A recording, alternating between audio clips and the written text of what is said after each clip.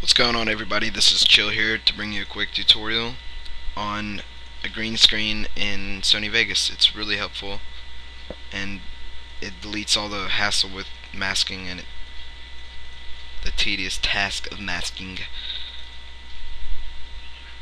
Say that five times fast.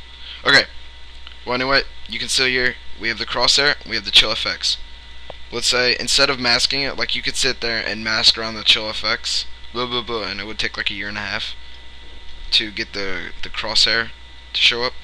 But instead, we're gonna go to video effects, go to chroma keyer, go to blue screen, drag it in, and then like it does nothing right now. But since you want the black to be gone, you're gonna drag it to black, and then look, now it's there, and it makes it a lot easier and everything, to where you can maybe like drag a crosshair down and it makes it really cool.